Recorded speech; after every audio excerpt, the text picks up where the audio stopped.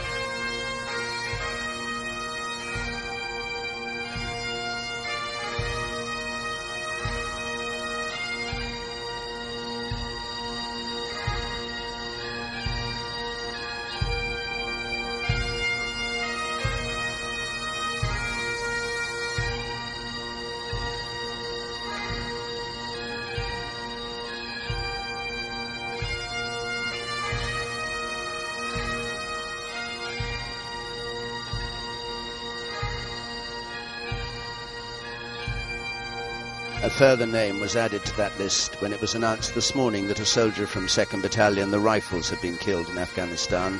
He hasn't been named, but his next of kin have been informed.